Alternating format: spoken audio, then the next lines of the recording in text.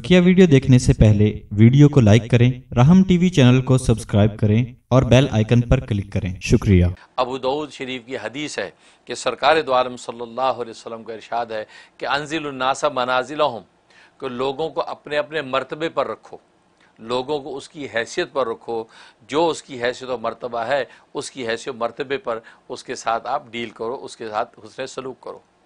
तो गए अनजिलनासिरा मनाजिर हम ये एक बहुत बड़ी हकीकत रसोल्ला अलैहि ने बयान कर दी है। क्योंकि ये बात याद रखें कि खिलकत में तो तमाम इंसान बराबर हैं। तख्लीकी एतबार से खिलकत में सब इंसान बराबर हैं, लेकिन हैसियतों के अंदर फ़र्क है।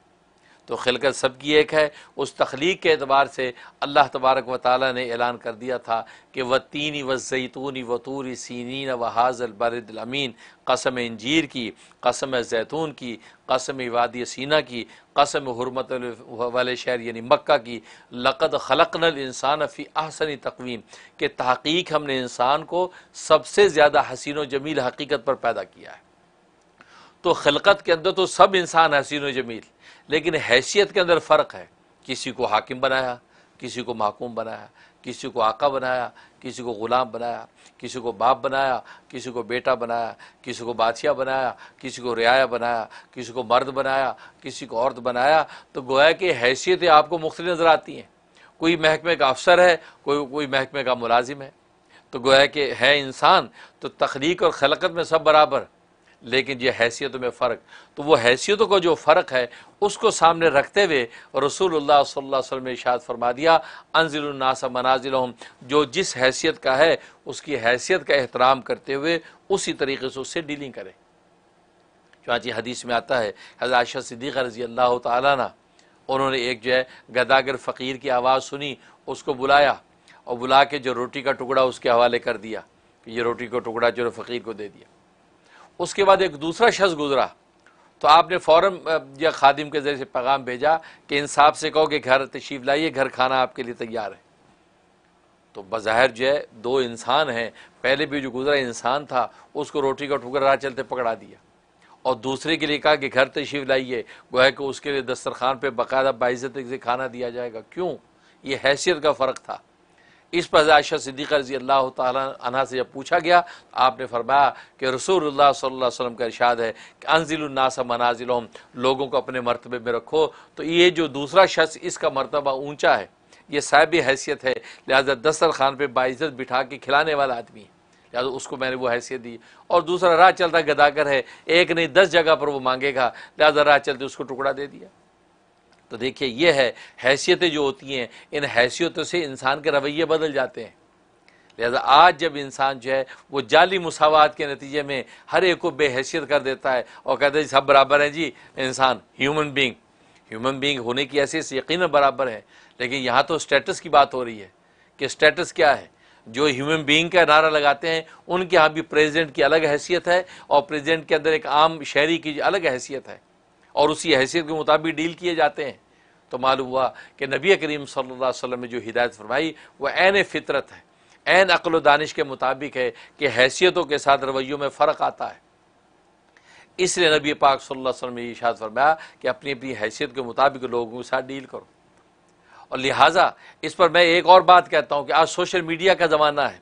सोशल मीडिया के अंदर आप तरह तरह के बयान सुनते हैं, तरह तरह के लोगों के फतावा सुनते हैं, तरह तरह की बातें सुनते हैं। कोई आलिम बोल रहा है, कभी कोई मुफ्ती बोल रहा है, कभी कोई आम इंसान बोल रहा है तो तरह तरह के लोग। लेकिन जब आप नीचे कमेंट्स करने लगते हैं तो उस सामने वाले की हैसियत को ज़रूर सामने रखो कि एक आलम दीन एक बात कह रहा है, हैं? मारूफ माना वो आलम दीन है। एक मुफ्ती एक बात कह रहा है, एक प्रोफेसर डॉक्टर एक बात कह रहा है। आप नीचे जब कमेंट्स करें, भले आपको उससे इख्तलाफ है, लेकिन आप उस इख्तलाफ को बहुत ही डिसेंट तरीके से उसकी हैसियत को सामने रखते रखते हुए लिखें। ये नहीं कि एक आलम दीन की बात को सुनते नहीं चलेगा गुस्ताख रसूल वाजबुल कत्ल आई। तो ये ये ये रवैया गलत है। आप हदीस की मुखालफत करके अपने कंधे पर बोझ कर रहे हैं और कल रोज़ आखिर में आपको जवाब देना पड़ेगा। और ये कमेंट्स करने वाले बिल्कुल आँखें बंद करके लिखते हैं। वो सोचते कि पता तो है नहीं लिख कौन रहा है। आज अगर यूट्यूब वाले ये बात ज़ाहिर कर दें कि कमेंट्स लिखने वाले के बारे में पता चल जाएगा किसने लिखा है। तो मैं ये समझता हूँ कि सौ में से नौ सौ में से नाइन्टी फाइव लोग जो है, वो बड़ी तमीज़ के साथ कमेंट्स लिखेंगे। बात ढीठ जो है, वो ढीठों का तो एतबार नहीं है। पचानवे फ़ीसद लोग दुरुस्त हो जाएँगे, नहीं भाई, पता चल जाएगा मैं कौन हूँ। इतने तो आप दलेर हैं। इतनी तो खला की ज़रूरत है आप में। इसलिए मैं देखता हूँ कमर्स। भाई, एक आलम दीन, किसी भी फ़िरक़े का आलिम दीन है, किसी भी मसलक का है, लेकिन आप नीचे जो है, उसकी हैसियत को सामने रख के वे कमर्स करें। कि जी मौलाना, आपने ये बात कही है, पता नहीं आपने किस सिनेरियो में की है, लेकिन ये बात मेरी समझ से बात लेता रहे क्योंकि मेरे सामने तो फला हदीस है, उस हिसाब से तो ये आपकी बात जो है, वो मुझे दुरुस्त मालूम नहीं होती। आप ज़रा नज़रसानी फरमाएँ। ये तरीक़ा है। यानी ये सोचा करें कि अगर इसके सामने जाकर मुझे इसका इश्काल और सवाल पेश करना होता तो मैं किन अल्फाज में पेश करता?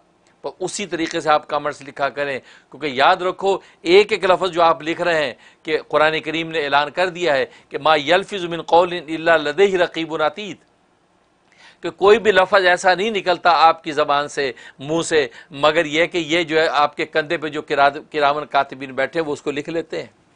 और कल रोज़े आखिर में आपको जस्टिफाई करना पड़ेगा। इसलिए मैंने देखा कि बहुत लोग वो कोई ठट्ठा उड़ा देते हैं, मज़ाक उड़ा, सामने हालाँकि बहुत बड़ा आलिम फाजिल है। किसी भी फ़िरका का हो, कोई बात नहीं। ये फ़िरक़ों के गलत और सही होने के फैसले आपको करने का तो हक तो नहीं है। दलाइल और इलम की रोशनी में सब अपने अपने दलाइल लेकर बैठे हैं। लेकिन आपका मार्च ये तमीज़ से करें। एक आम आदमी बेहंगम बात कर रहा है, अब ठीक आप उसको आम, एक आम आदमी के अंदाज में उसको डील करें। लेकिन मुझे अफसोस होता है कि मैं देखता हूँ कि बहुत से आलम दीन उनके बारे में कि ये उस मसलक का नहीं है तो लिहाजा कीजिए मुनकर हदीस। हाँ ये ये गुस्साख रसूल। ये दरूद के मुनकर हैं, ये सलातम के मुनकर हैं, ये मुशरक हैं, ये बिदती है। तो बड़े बड़े नीचे फतवे आप दाग देते हैं, जबकि सामने बोलने वाले एक आलम दीन है। किसी भी मसलक का मुफ्ती और आलिम फाजिल है। इसलिए ये हदीस उन सब के लिए हिदायत है कि अनजिलनासा मनाजिल अपने अपने मरतबे पर रखो। और ये कभी ना सोचना कि मैंने लिख दिया, मेरा किसी को पता नहीं, मैंने तो नाम भी कुछ और लिख दिया। बल्कि नाम लड़की वाला लिखा, हूँ मैं लड़का। लोग लड़की वाले नाम पे गालियाँ देंगे। तो ये ये तो आपकी हमाकत है। अब ये आपकी हमाकत उसी तरह की है जिस पर एक लतीफ़ा है। समझाने के लिए कह रहा हूँ, वरना लतीफ़े सुनाना तो मकसद नहीं है। कहते कि किसी जगह पर किसी दीवार पे लिखा हो तो यहाँ पेशाब करना मना है। किसी किसी बेवकूफ़ ने किसी सिख ने वहाँ जाके पेशाब कर दिया। पेशाब कर दिया। अब जब लोग इकट्ठे हुए देखा, ये पेशाब किसने कर दिया? भाई यहाँ तो पेशाब करना मना है। तो लोग गालियाँ देने लगे उसको। गालियाँ देने लगे किस खबीज बदबख्त ने पेशाब कर दिया वो सिख भी वहीं खड़ा है वो सरदार भी वहीं खड़ा सुन रहा है। तो लोग गालियाँ दे रहे उसको खड़े। तो किसी ने कहा छो यार छो किसी कुछ कुत्ते ने करता होगा किसी कुत्ते ने पेशाब कर, कर, कर दिया होगा। किसी कुत्ते ने करता होगा ये कह के वो लोग छटने लगे तो वो सिख हंसता हुआ घर आया। घर आके लोटपोट हो रहा हंस रहा है। तो बीवी ने कहा खैरियत सरदार जी आप हंस रहे हैं क्या हुआ? कहा कि अब मैं हंस इस बात पे रहा हूँ। वो दीवार के साथ, वो कंध के नाल पेशाब मैं किया ना कुत्ते का लग गया। पेशाब मैं किया ना कुत्ते का लग गया। इस तो मैं कह रहे वो सिख अहमक है। वो अगर ये समझे कि कुत्ते को गालियाँ पड़ रही उसकी हमाकत गालियाँ तुझे पड़ रही हैं भाई। तो सोशल मीडिया पे लिखने वाले बिल्कुल वो सिख वाली हरकत करते हैं। ऐसे बड़ी बड़ी गालियाँ दे देते हैं बड़ी बड़ी बात लिख देते हैं और सोचते हैं कि मेरा ना केड़ा लगना, ना तो किसी कुत्ते का लगना। है मतलब उसमें नाम आपने लिखा समीना और मैं तो अब्दुल अब्दुल मालिक हूँ। समीना को गालियाँ पै ने। नहीं बदुआएँ समीना को हो रही हैं। मैंने उल्टा अंगूठा उसके ऊपर क्लिक कर दिया, है? तो गाली तो उल्टे अंगूठे वाले को पड़ेगी, मेरा किसी को क्या पता?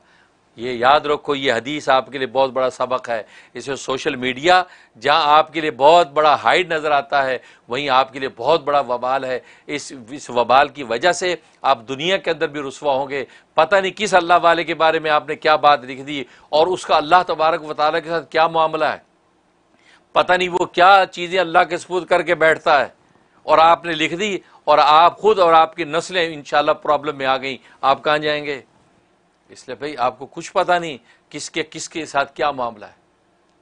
किसका अल्लाह से कैसा मामला है, इसलिए कुछ भी लिखने से पहले एहतियात करें। भाई, ये सोचें कि सामने अगर मैं होता तो मैं कैसे उसको कहता तो डिसेंट तरीके से लिखें। और मुझे अफसोस होता है कि यानी मुसलमान और मुसलमान आलिम फाजिल के बारे में ऐसी बात लिख देता है कि कोई हिंदू और ईसाई भी उसके बारे में ऐसी बात ना लिखे। इसका मतलब है कि आपके दिल इतने गंदे और गलीज हो चुके हैं, इतने, इतना दिल के दिल के नफरत तो तकदर पैदा हो चुका है। कि आप अपने ओलमा के बारे में, अपने बड़ों के बारे में, हैं, साहब हैसियत, आपके मुल्क का हाकिम है। भाई ठीक है, हाकिम है, आलिम, फाजिल, हाकिम है। वो हाकिमे के बारे में क्या क्या लिख देते हैं? किन किन हाकमों के बारे में क्या क्या लिख देते हैं? भाई आपके मुल्क का वज़ीर आज़म है, आपके मुल्क का प्रेसिडेंट है। आप उसी की हैसियत के मुताबिक अपना इख्तलाफ ज़ाहिर करें। इसलिए नबी ने कहा मनाजिल इसका मतलब यही है कि वज़ीर आज़म पर आपने कमेंट करना है तो आप उसकी हैसियत को सामने रख के कमेंट करें। ऐसी तोमत ना लगा दें कि जो उसकी शख्सियत मैच ही नहीं करती। एक आलिम और मुफ्ती के बारे में ऐसी बात कर दें कि जो उसकी शख्सियत से मैच ही नहीं करती और आप कह रहे हैं कि ये जो मुफ्ती साहब है, गुस्ताख रसूल है, ये मुनकर दरूद है, ये ये तो आप बेवकूफ़ एक वक्त का मुफ्ती है एक आलिम है, फाजिल है, वक्त का वलील्ला है और आप ये बात लिख के बड़े खुश हो रहे हैं, बिदती है बिदती है, मुशरक है मुशरक है, शेरक है। ये हदीस के जाहिल है। नहीं, ऐसा नहीं। इसलिए ये ये हदीस आप सब के लिए सबक है। मोहतात होकर लिखें ताकि कल रोज़ क़्यामत में आपको शर्मिंदगी ना हो, क्योंकि ये सारे पोल वहाँ खुल जाने हैं। वो योमुलफसल है। इन न योमुलफसल का ना मीका था वो फैसले का दिन है। वहाँ सारे कच्चे चिट्टे खुल जाएँगे। वहाँ फिर आपको बचाने वाला कोई नहीं होगा। अल्लाह से दुआ है कि अल्लाह तबारक व ताली ये इन इस रवैयों से मोहतात कर दे और अनजिलनास मनाजिलों को सामने रखते हुए हम अगर उल्टा अंगूठा भी सोशल मीडिया पे दबाएँ तो सोच के दबाएँ कि सामने वाला इसका मुस्तक है भी कि नहीं। ये नहीं कि अपनी अदावत और जल और हसद निकालने के लिए उल्टा अंगूठा दबा दिया। मुझे हैरानी होती है, बाद ऐसे क्लिप या ऐसी वीडियोस जिसमें सिवाय अल्लाह अल्लाह के रसूल के अलावा बात ही कोई नहीं।